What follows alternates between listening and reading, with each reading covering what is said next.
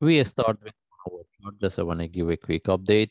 And if you refer to my last analysis, since the price was within this one, we may discuss about this one for flat for the next drop as exactly as what we expected the price drop, but it is dropped more than what we expected. All right, we were expected the price to drop and tag or even break the lowest price of this correction before we look for the reversal. But we didn't expect the price drop quite a lot. Anyway, uh, we move to daily chart and based on daily chart again, if refer to our analysis, we mentioned we're looking at this correction. We'll, if we get any opportunity for buy, we'll take it. And we want to see the breakout of this correction because we have been looking for the reversal as a long term. And we mentioned if we get any opportunity for buy, we'll take it. It's still same. We're looking for buy. The only thing is we want to see the breakout of this correction. With the breakout of the 36, we can look for 41 following by 48 cent as a target as a long term. And as what we can see here the price tag the lowest price of this correction but the only question is whether we have to wait for the price to tag the lowest price of this one or not. For me if the price tag the lowest price of this one is good we can confirm with the indicators whether we have a divergence or not but we don't need to wait for that.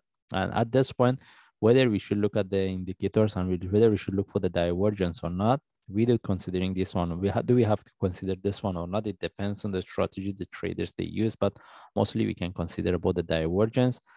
And that's why if we get any opportunity for buy from now we'll take it but we have to wait for the trade opportunity for the reversal. Simply we cannot take the trade since we have a divergence all right? We're not really interested to look for sell even. I uh, highlighted my last analysis. We are more interested to look for buy and even we mentioned with the breakout of this correction, we can expect the price drop to 14. The price couldn't break. The only thing is it could take, all right? And if I refer to the indicators, if we put this low relative to the previous one, and if we refer to the indicators, even still we can consider about the divergence based on four-hour chart. That's mean from now we have to look for the trade setup for buy. It doesn't mean the price cannot drop. Even we can expect the price tag 12 cent. All right but we are more interested to look for buy because the buy is a long term, the sell is a short term at this point.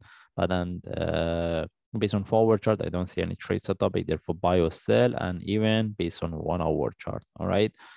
Still, we can expect the price give us a small correction and we see continuation. We are not really interested to look for sell unless we see the deeper correction. In that case, I will give update all right but having in, uh, if you get any opportunity for buy we will take it. If anyone wants to put the entry above here they can consider but they need to be really risk uh, they need to be quite careful all right anyway we have to wait. If you get any opportunity for buy we'll take it. In this case we just follow the chart. If i see any update i will share. Thanks